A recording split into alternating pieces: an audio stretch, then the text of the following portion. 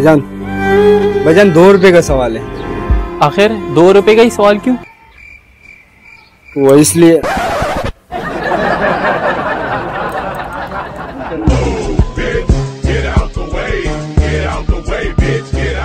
क्योंकि मैं बंदे की औकात देकर भीख माँगता हूँ।